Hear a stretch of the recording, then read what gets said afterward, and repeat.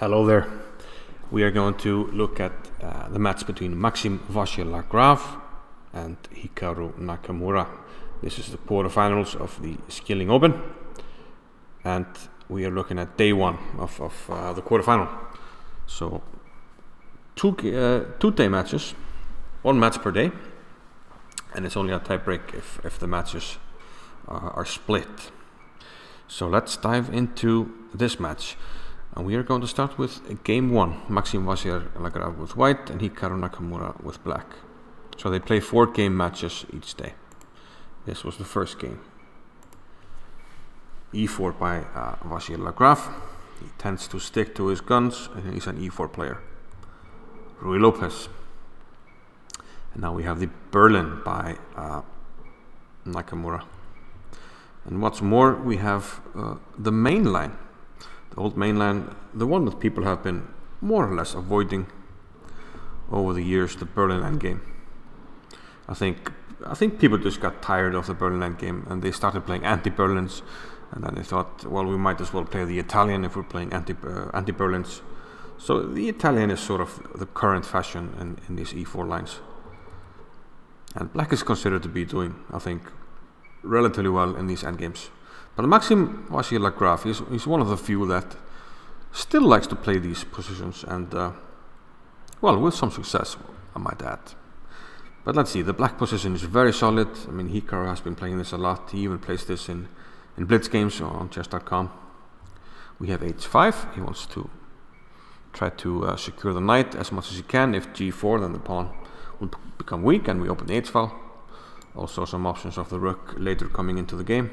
So a multifaceted move, h5. Bishop comes to f4, the pieces now come out, rook a to d1, and bishop e6.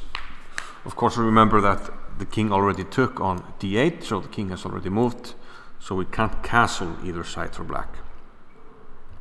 Knight d5 now by uh, Lagrave, and the rook comes out to h6. White centralizes, and we have bishop b4. Now first when I was studying this line, uh, I thought that allowing this, which Vachier-Lagrave uh, uh, did, he played a3 and allowed the double pawn, I thought that was considered not so great. But let's see. Uh, I mean, black shouldn't have any problems here. He played h4 now. Again, he has a very nice knight on f5 and his position is quite solid. But Lagrave tries to open it up here with g4. Pawn takes, pawn takes, knight e7, and h4. The knight now uh, goes over to d5. And here Lagrave decides to give up the pawn on c3. Now on one hand, those were double pawns and, and maybe not so bad to lose them. But does white have enough for the pawn? That remains to be seen. The knight now goes to a4. I guess intending to bring it back to c5. If he had gone to d5, maybe he runs into some problems uh, at some stage with the c4 move, but decides to go to a4. And now we see rook f3. Bishop d5, the rook comes to f4, and the knight comes back to b6.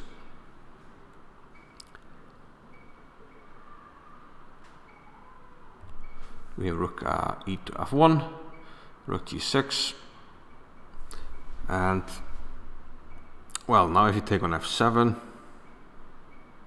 actually what happens if, if we take on f7? I guess we take on g3, right? And there are some issues. It's going to be a check on g2.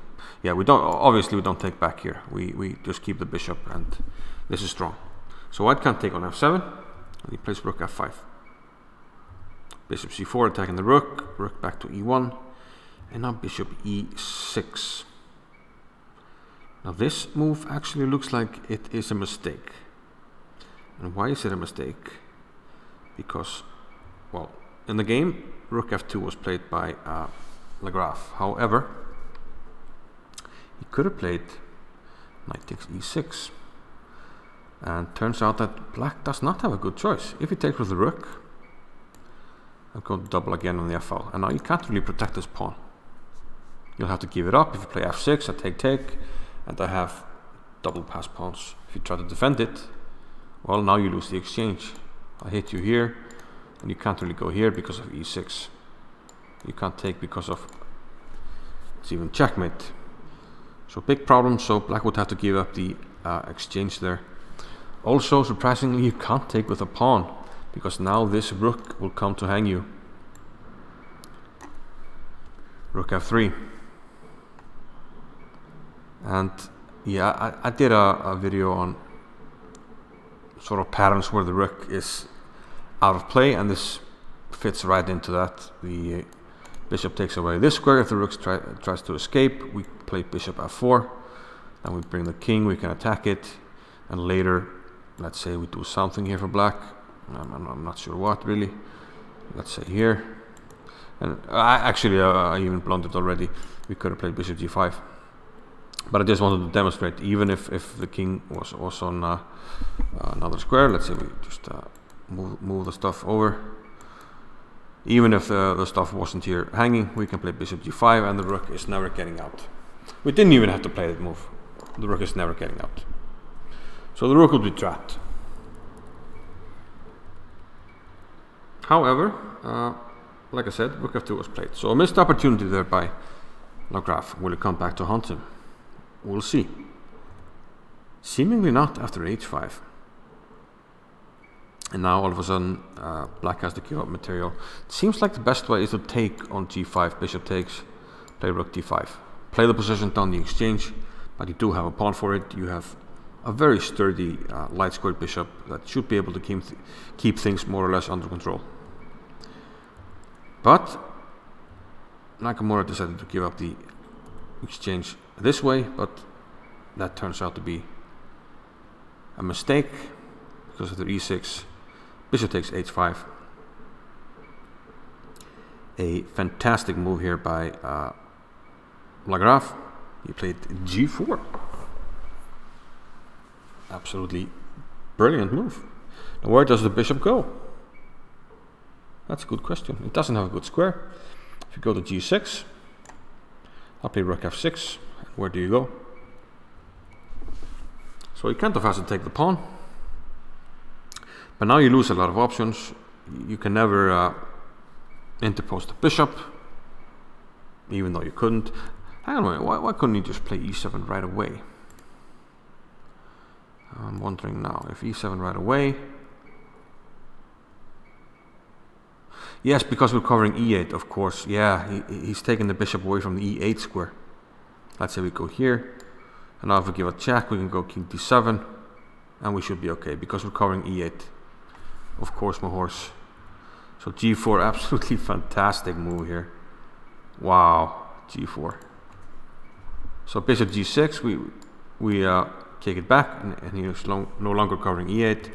And after takes, after e7, the rook can no longer go to the uh, to any square like this one because we will give the check, and then we will take and make a queen because there's no bishop. Brilliant stuff. So Nakamura actually had to give up the second exchange here. Play knight d7 covering the f8 square. But now we get the exchange and now Vachier-Lagrave is up two exchanges. And despite black having a lot of pawns, that, that's, that's not enough here. His king is stuck on the back rank. And the, the black pieces don't really coordinate that well. And in fact, a nice move here by Lagrave, liquidating with rook takes e5. The move pawn to a5 uh, means that we can win another pawn here. Rook takes e5. We can play a4, but that's just postponing the inevitable. The pawn will be lost after rook a5. You can only choose if you lose this pawn or, or this pawn. So Nakamura decided instead to improve his king. c6 was also hanging, which I didn't even mention. And yeah, this is just a winning position it seems for uh, Lagrave. After h4 he played king e3 and now the uh, the bishop is running out of squares. Rook g1 and we're gonna win this pawn here. And this was actually where Nakamura resigned. He doesn't really have any any way to play on here. Let, us say he tries to uh, go for this pawn sorry, the pawn on a3, he will simply pick up the pawn on h4. And black is not in time to cover this. We're going to get another pawn. And this position is winning. We are going to uh, drive the king away and at the right moment uh, take this pawn without allowing the uh, opposition. And we will have a winning pawn endgame. So very nice technique indeed by Maxime Vachier-Lagrave in this game and some some excellent tactics there in the endgame. Some some nice endgame tactics showing high class there. Very resourceful and it turned out that uh, in the two games where Nakamura had white, he did indeed put massive pressure on Lagrave, but Lagrave defended very well, especially two tough endgames where perhaps Nakamura had some chances, wasn't able to capitalize. Uh, Lagrave defended very well, and he takes day one. So Nakamura needs to come back tomorrow. We know he can't, but but will he? Remains to be seen, and we'll see that tomorrow. See you then. Bye bye.